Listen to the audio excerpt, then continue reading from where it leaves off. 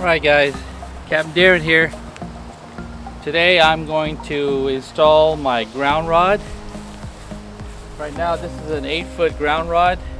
I just pushed it into the ground and uh, a tip is you take one of these acorns, put it in, put it inside or put it on the rod itself so when you start pounding on the rod sometimes you get a mushroom on top of the head so when you try to put the acorn in it won't be able to fit. So that's just a uh, a tip and also wear eye protection in case of any kind of metal shavings might be might be um, free from when you're striking the uh, the rod it might get in your eyes. All right so what I'm going to use is the two pound sledgehammer and then the five pound for the final pounding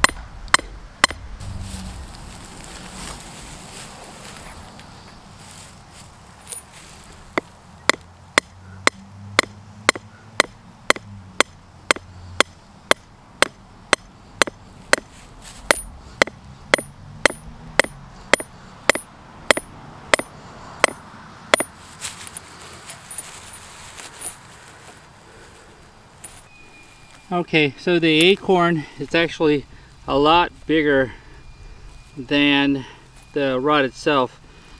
I may have to get um, a smaller size acorn or I can use it um, when I put the bolt inside and the wires it would crimp. I think this would work out right.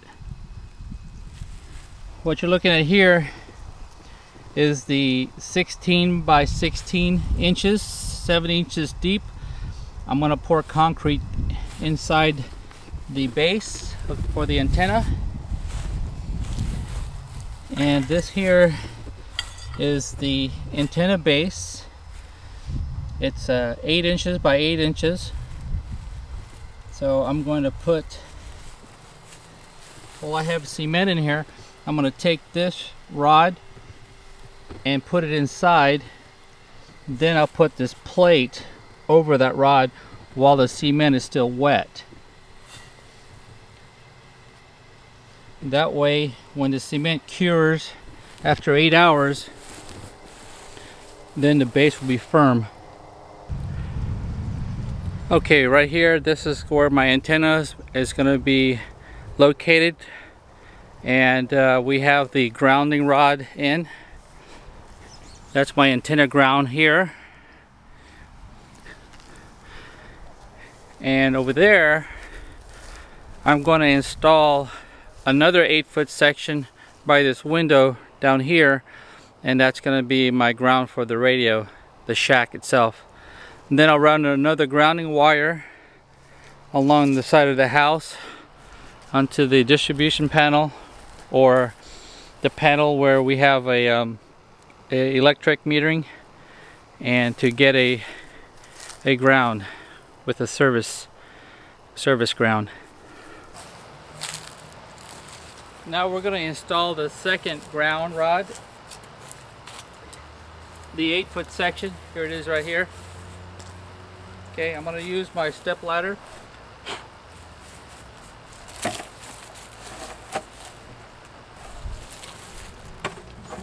you want to put the ground rod maybe approximately more than two feet from the house foundation just in case well from two feet from the house just in case of any foundation that you're going to run into.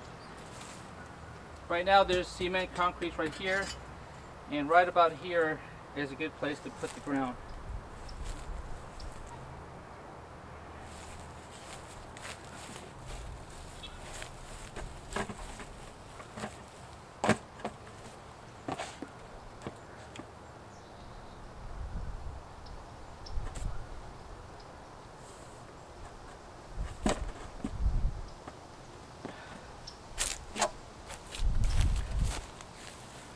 I didn't end up using the five pounds. I basically used a two pound sledgehammer. That did the trick.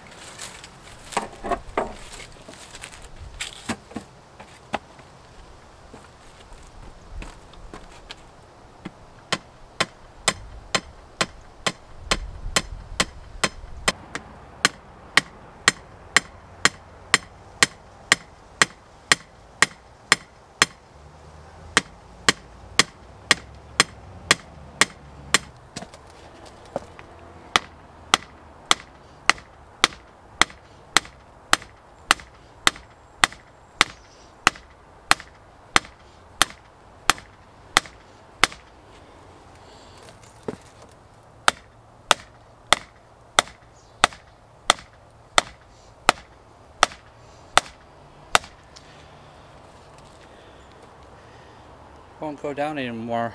I think I hit something down below.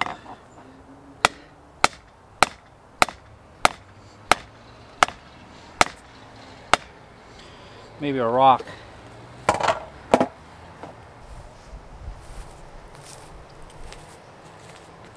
Well, looks like I got four feet to go and uh, so I switched over to the five pound sledgehammer and I'm going to have my mom hold the base probably lower so I want to continue to pound this this down. It's so hard, I tried to pull it out of the ground to relocate it and I can't even have it budge. It's stuck in there. So I'm going to continue down. Okay, I don't know if you can see it, but the head is beginning to shroom, become a mushroom. So this acorn, it's barely fitting now. So I went ahead and put the acorn down in there and I'm going to tighten this up so um, it'll be a lot easier. I had it on earlier without tightening and it went all the way down in that hole so I had to dig it out. So make sure when you get that acorn you at least put some tension on it so it doesn't fall in that hole down there. Almost done. Little at a little at a time.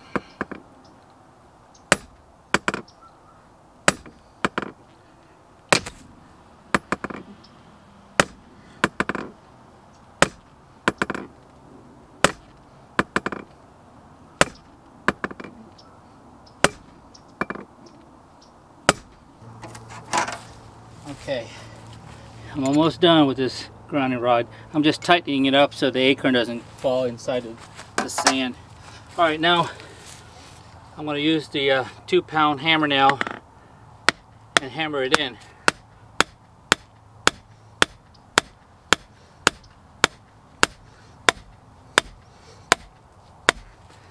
Look at that shroom head.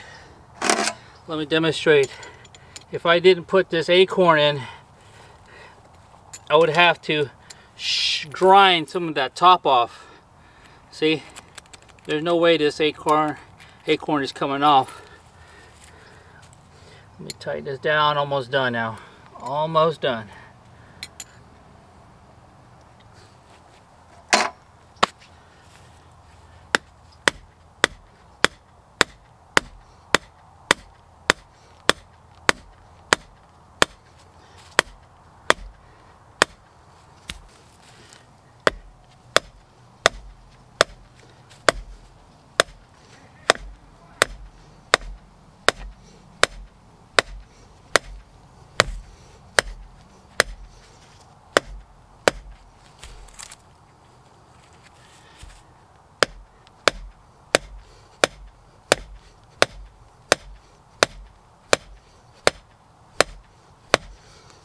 Look at that. Good pounding. This one definitely took a lot longer than the one I had the base of the antenna. Yeah, move this closer to the top. Again, this is 8 foot grounding rod. They say minimum 8 feet to utilize.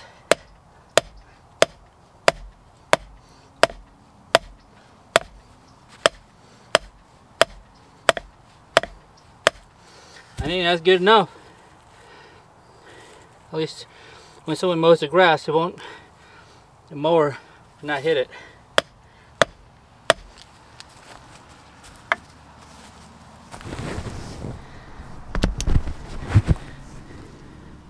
There you have it.